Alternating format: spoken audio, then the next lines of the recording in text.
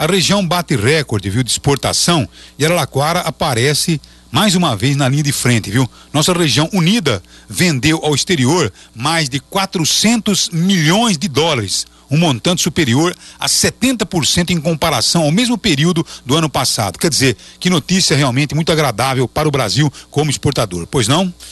As exportações das 10 cidades mais populosas da região bateram um novo recorde em setembro. Juntos, os 10 municípios venderam ao exterior no mês passado 409 milhões de dólares, um montante 76% superior aos 231 milhões de dólares negociados em setembro de 2009. Além do desempenho de setembro, melhor, o melhor, melhor nível desde 2008 havia sido registrado em agosto daquele ano, quando a região negociou negociou 334 milhões de dólares. De forma isolada, a melhor alta percentual em setembro ficou com Bebedouro, onde os negócios com o exterior aumentaram 473%. A venda de suco de laranja foi a principal razão do crescimento. As exportações de suco aumentaram 46% no acumulado do ano. Outras cidades citrícolas, como Araraquara e Matão, também tiveram altas elevadas. Para especialistas,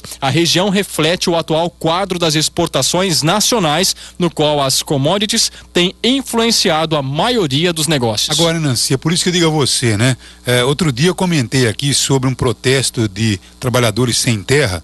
É, que ocuparam aqui Araraquara e vieram fazer até um protesto aqui na frente, né, da empresa Cutrale.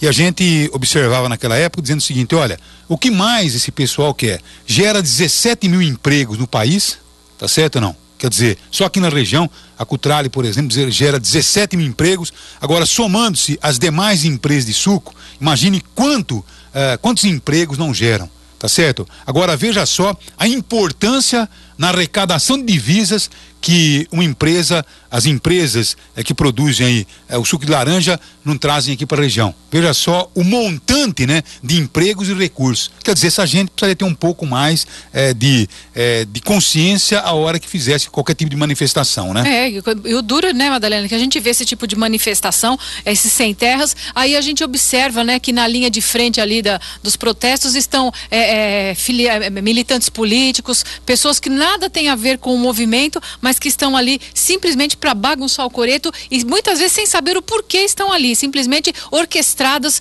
por outras pessoas que têm interesses outros também.